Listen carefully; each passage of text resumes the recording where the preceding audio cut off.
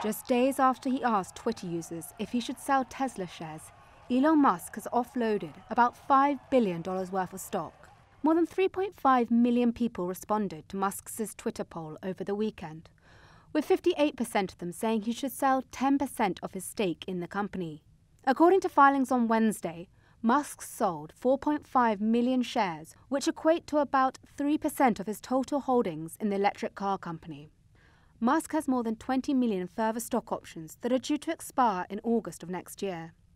The last time he sold shares in Tesla was in 2016.